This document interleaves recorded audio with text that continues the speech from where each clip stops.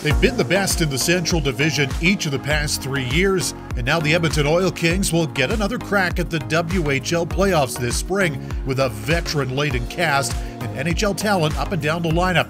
The Oil Kings are the first Eastern Conference club to clinch a playoff berth, doing so on the strength of the league's best home record and two forwards in the top 10 in WHL scoring in Josh Williams and Arizona Coyotes first rounder Dylan Guenther. As strong as the Oil Kings were at the outset of the season, GM Kirt Hill has only added to the roster since play began, adding NHL prospects Luke Prokop, Kaiden Guhle, and Justin Sourdif to his lineup in a trio of blockbuster trades. Edmonton's last trip to the playoffs saw them win two rounds. This year, the Oil Kings have their sights set on their first Ed Cup in eight years.